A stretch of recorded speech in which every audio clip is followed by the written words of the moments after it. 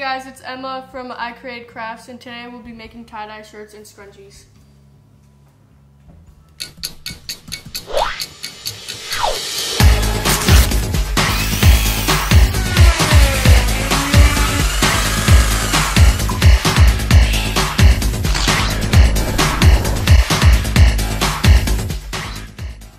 First, you need a white t-shirt or anything white.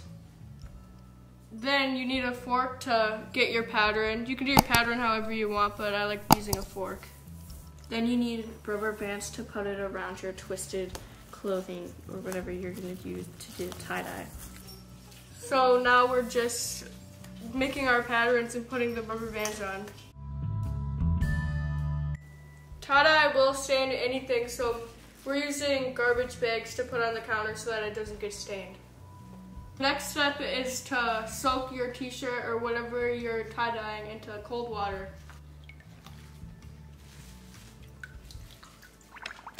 And you can squeeze the water out really, really well. You can or you don't. You have to.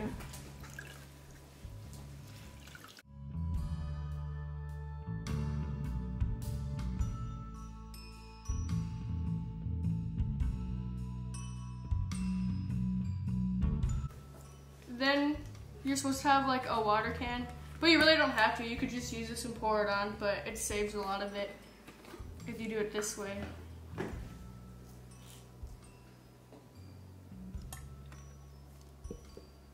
And there, that's it. Less water makes it darker, more water makes it lighter. So if you fill it up to the top, it'll be way lighter. But with less water, it'll be more darker if you do more dye. Right here, we're just adding the tie-dye to the water. Now we're gonna start dyeing it. Here we are adding the colors to our shirts. Here is where it gets fun. You can try to create a pattern or just randomly pour the colors on. These bottles are good to use because you can pour the color where you want it to go. The best part will be seeing what our designs look like after they dry. You never know what they will look like while they are balled up.